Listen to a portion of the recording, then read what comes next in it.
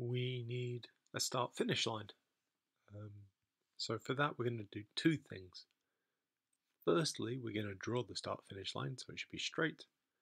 We'll do, hmm, we'll go with a red start finish line. Let's have it a bit thicker than that. Let's go with that. So let's say our start finish line should be there. Okay. And we also want it so that our car always starts here.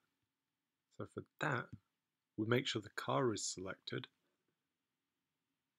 And then we do another, so we click on events. When the green flag is clicked, let's move the car to about there. So let's try, so we put the cursor where we want and then we look at the X and Y just at the bottom right hand corner of the track. Mine currently says minus 100, uh, sorry, minus 18, 112. So let's see what that looks like. Minus 18, 112.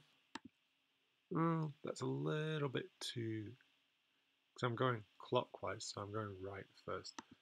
So let's move our x-axis a little bit further right. So this gets, let's try minus 10.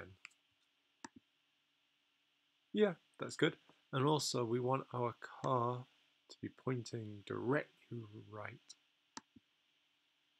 So okay, um, and I'll just move it down a little bit. So let's try 105, see what that looks like.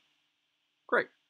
So then it doesn't matter where our car is. If we press this, it will go back to the start position.